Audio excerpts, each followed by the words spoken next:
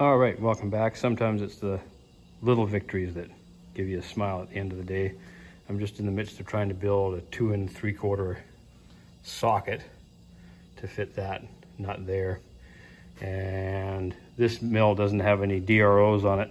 Usually I just put a dial indicator on the bed like so. And another one I can do is put a uh, mag base for a dial indicator there. And then, uh, as you see, um, once I get the recipe sorted out for making the this socket this way, I'll uh, probably do a bit of a video when I make the larger one, which will be out of this slug of material to fit that nut, which is larger. I don't know what size that is. It.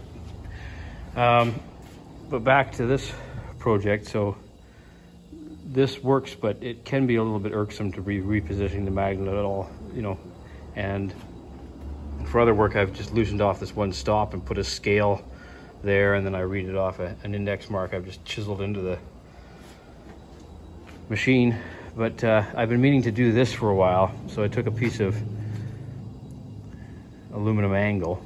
Wouldn't have to be aluminum, but that's what I decided to make it out of.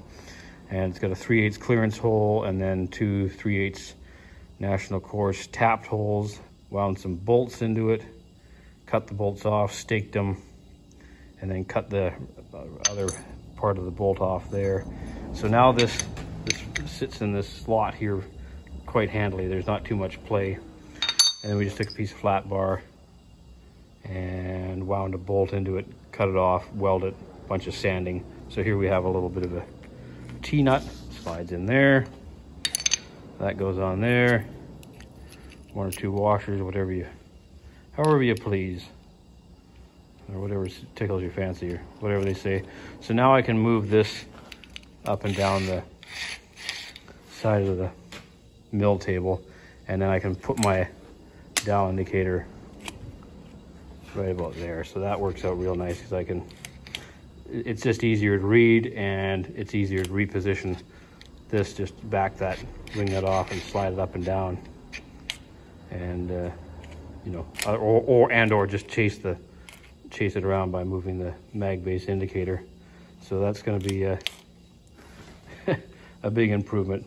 Like I say, it's the, it's the little things that make the put a spring in your step or put a smile on your face at the end of the day. So that'll make uh, finishing off this nut just that much easier, and I'll uh, it'll make just about every project that much easier. So someday I just have to get myself a you know 12 inch travel dial indicator. Thanks for watching.